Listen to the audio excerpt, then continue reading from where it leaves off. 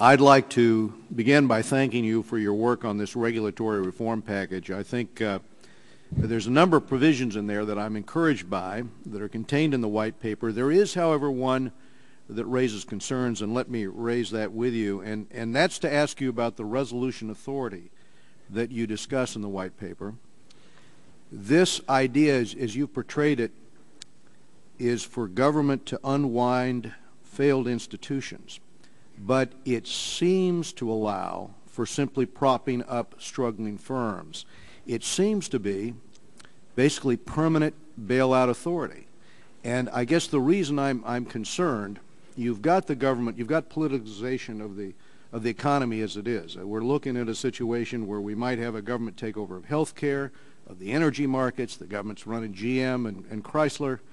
And now you look on page 77 of the, of the reform proposal, and this is how it reads.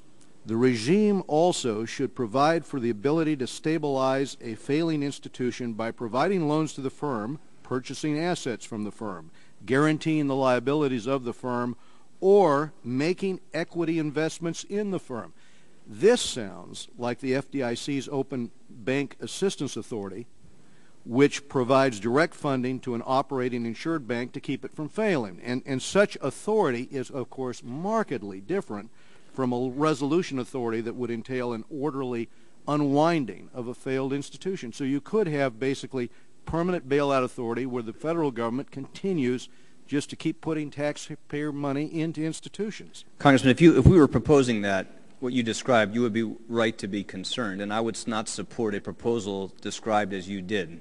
What we are proposing to do is to take the basic framework that the Congress legislated to allow the country to deal with risks to the financial system posed by the failure of banks and thrifts, and to adapt that framework to give us similar authority to deal with a large, complex financial institution.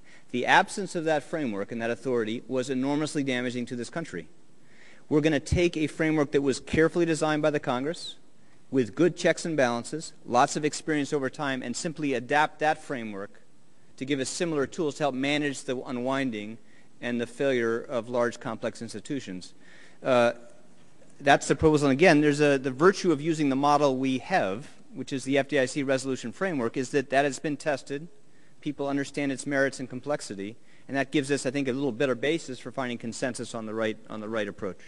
But of course, given recent actions, and given the fact that this is worded in a way that it does not require an unwinding process, uh, given the fact that uh, based on current actions, we're, we're left with the assumption that this certainly would allow, the way it's written, ongoing government involvement in a way which would continue to put taxpayer funds into an entity uh, without limit. And, and let me, I, I let me ask one has, other question. I don't think it has that risk, Congressman, again, because okay. uh, the centerpiece of our reform proposals are to create a system that is strong enough to withstand the failure of major institutions.